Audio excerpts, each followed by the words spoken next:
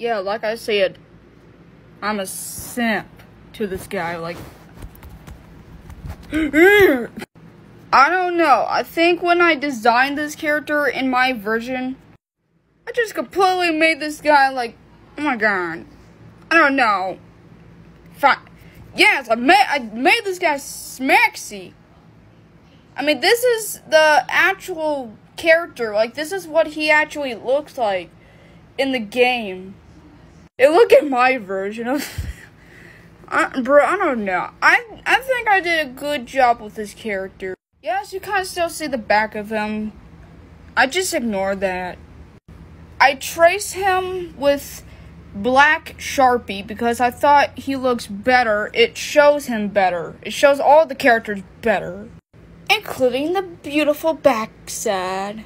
I did have this idea that I could, like, made his hat removable, but then I was like, I am too tired to do that. So it's just gonna be attached to him. I mean, you guys saw my art. You guys saw how he looks like without his hat. He looks awesome. And I am still working on that comic book still. It's gonna take me I don't know how many years. I wanted this guy to be a sweetie holic. If you don't know what a freaking sweetie holic is, it's a person that is addicted to sweet tea. Like all day, every day, sweet tea every day.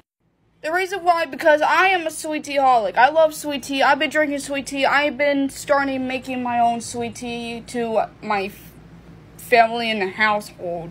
This guy drinks sweet tea 24 7, just like me. The reason why you guys think that, wait, is this how his clothes mainly looks like?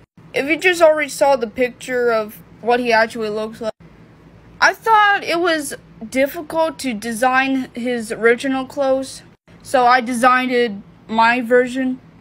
And plus, I wanted to add this awesome V on his belt because it's awesome. And if you guys didn't notice, there is hidden V's around him if you can't see them. Like, I didn't even know that until, like, like, out, like, while back. And I thought Von V O N, was a good name for him because, duh, it is a name. Okay, for one, I thought it wasn't a actual name until I, until history class said Von. I'm like, oh, okay, it's a real name. Like I said, I do take him to school. I do take him everywhere. I make sure he's okay. I do sleep with him. He do sleep right here too. And no, I don't take him to the bathroom.